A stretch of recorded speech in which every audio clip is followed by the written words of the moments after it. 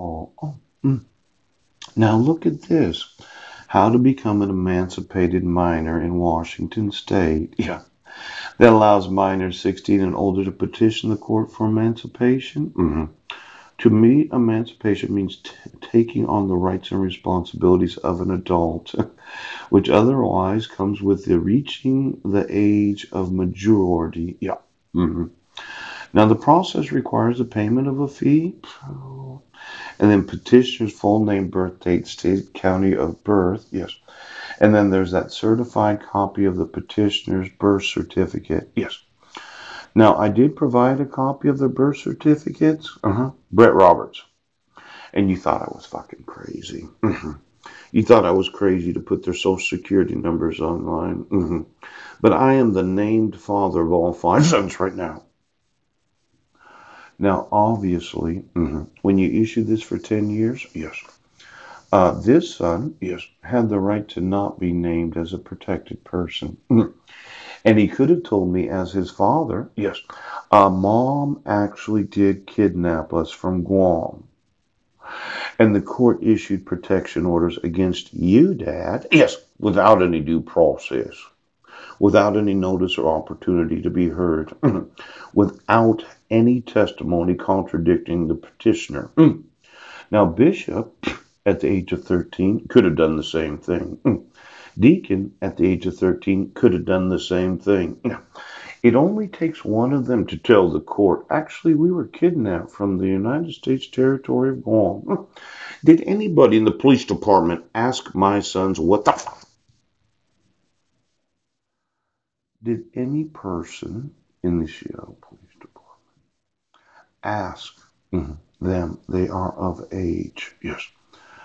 Could you tell me exactly how you ended up in Jefferson County? Oh, mhm. now this says uh 13 to 15 with friend of court. Mm. Let's just read it. Oh. Now, to, what? No, what we're really doing is we're establishing a huge international lawsuit for every member nation of the world. Yes. That has any knowledge of the United States refusing to enforce the rights of the minors named. now, I've often said that I get to go first. Ouch. But if you, Sheriff Stanko, didn't ask my sons, yes, can you tell me how your mother got custody of you? What? She said she mailed it, but she didn't. My dad was at his grandmother's house and he didn't get notice of court hearings. In fact, he didn't get a copy of it, too. The marriage certificate was issued from the United Nations and nobody wanted to go through them to be able to get a dissolution of marriage. Now, mhm, a person who fears violence from family or household member, yeah, RCW 10.99.020, or who has been the victim of physical harm or fears imminent physical harm or stalking from a family or household member. Yes. I fit the definition of a family or household member. Yes. Uh, includes dating relationships. Yes. Petitioners 13 or older in a dating relationship with a respondent. 16 or older. hmm Now that would be somebody that's 13. Yes. That fears family or household. Maybe you were dating your cousin. Little incest going on there in the family. You're dating your brother. Minors age 13 to 15 with a parent, guardian, guardian ad litem, or next friend. Yes. hmm Now, uh, the TPO, the temporary protection order, can only be issued for 14 days. Yes. The permanent order is limited to the Superior Court if Superior Court has family law action pending or if the case involves children or order to vacate home. Yes. A notice served on the rep- respondent. Yeah. Something that never happened. Mhm. Now, notice by certified mail or publication authorized in limited circumstances. Um, I'm kind of thinking they don't have to motion the court. I think that you, as a judge, have to remove it, Brent. hmm Because you have uh facilitated what is known as international child abduction. It seems that Heidi had family in Clallam County that I didn't know about. Yes. Something that involves three fingers. Oh, you know, you don't know. Hmm. Which we all know. and it could have been that she screwed her way in before I.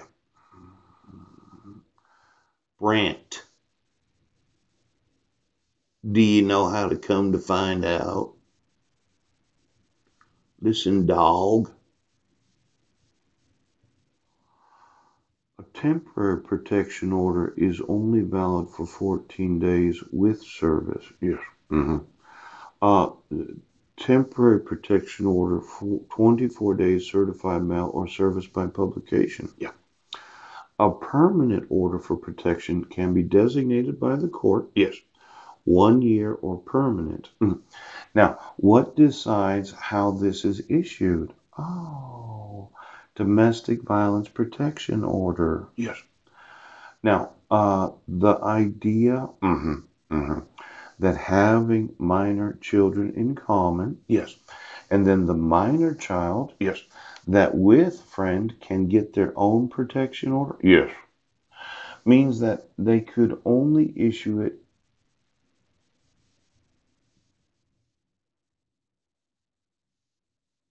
well Zachary would have had to serve me. Yes. Mm-hmm.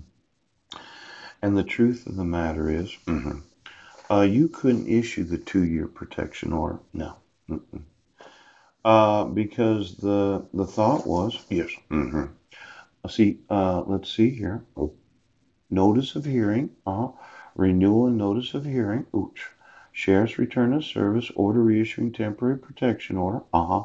Motion hearing, proof of mailing, declaration of Heidi Budnek. Yes. And then um, you put it in the Sequim Gazette. Oh, not for 24 days. Uh-uh. 48 days. six weeks. Mm, 42.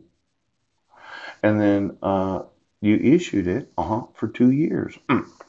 Now, if you really wanted to really understand you could not issue it beyond the birth date of the 13 year old minor. Yes. That protection order you're getting sued for right now. Now, um, this idea that you don't understand how people do this in other nations, well, this is how you do it. Uh-huh. This is how you abduct children.